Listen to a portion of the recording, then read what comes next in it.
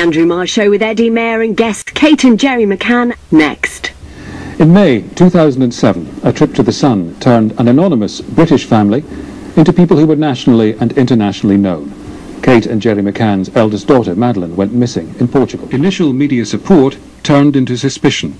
The McCann's privacy restrictions of the press, who stopped at nothing to write something, anything, about when the couple. attended the Leveson inquiry, the McCanns were clear on why they had decided to take part. Be put in a place to protect ordinary people from the damage that the media can cause. When it's your voice against the powerful media, you know, it, it just doesn't hold weight. And you know, we're desperately shouting out internally, please stop what you're doing. I mean, we're trying to find our daughter, and you were stopping our chances. Among the worst offenders, the Express Group. McCann's were shown some of their stories. Of disgusting. And I think this same journalist, if memory serves right, also said we stored her body. The News of the World got hold of a copy of Kate McCann's private diary and published it without telling her. It was my only way of communicating with Madeleine. For me, you uh, know, there was absolutely no respect shown for me as a grieving mother or By taking part in Leveson, the McCanns hoped that their testimony would help bring about a change in the law, a new press regulator with legal backing.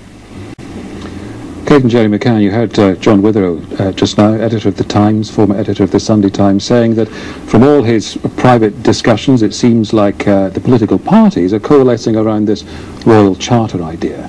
If that's what we end up with, was going to Leveson a waste of your time?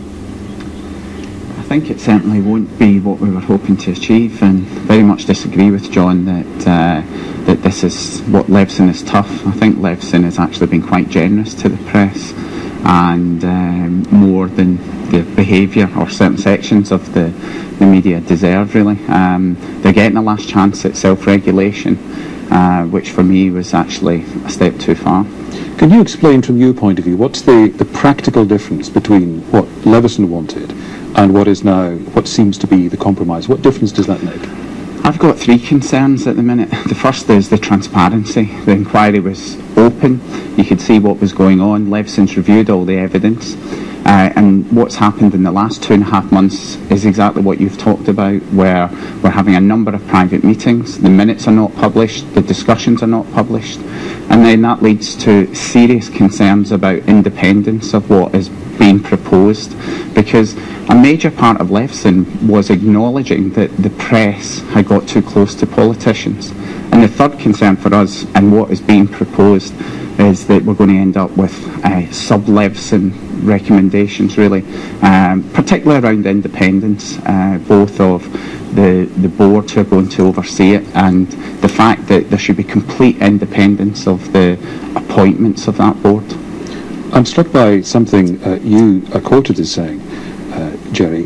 The Leveson package, including legal underpinning, is the minimum acceptable compromise for us. I just wonder if it was up to you, if they gave you the power to draft something, the future of the press, what would you do? To be honest, uh, I, have already said this to you that uh, I feel that the, the press has lost its entitlement to self-regulation over many, many years. And I would have liked to have seen actually statutory regulation and not self-regulation. But I get the impression if it was up to you, you'd, you'd go much further. And, well, absolutely. People, people I mean, might not blame you. What would you do?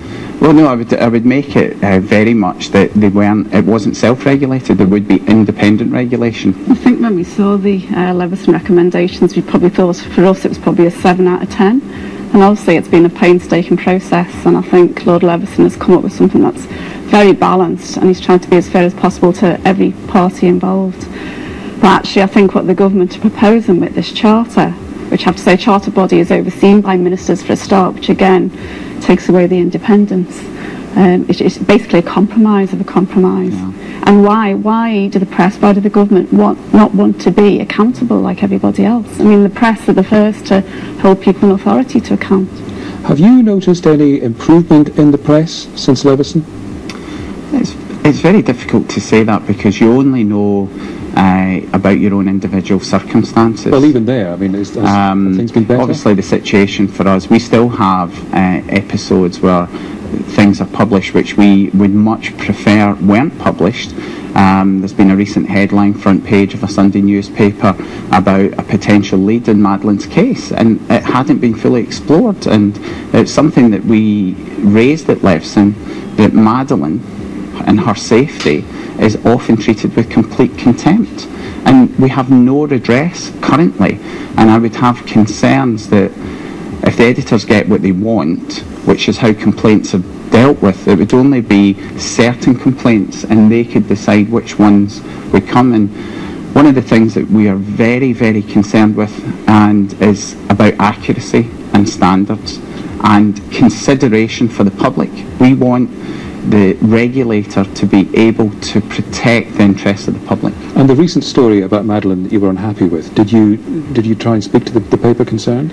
Yeah, I, I, wrote to the editor of the newspaper and explained my concerns, and I have to say I got a reply back which made my blood boil. It was basically telling me that he they knew what was best for Madeleine, that they knew best what was for missing children. So despite what we as parents thought, despite what the Metropolitan Police thought, they knew what was best.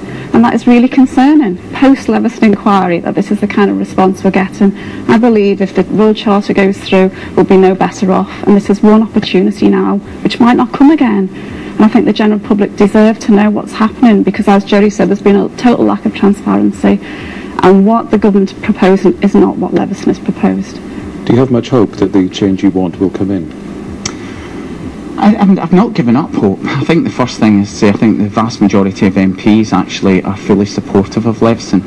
And I've mentioned this before, but if uh, our parliamentarians want to redeem themselves in the public light, they know that the right thing is to implement Leveson in full. Not a compromise, not a sop to the editors. Right. Kate and Jeremy McCann, thank you both. Thank you.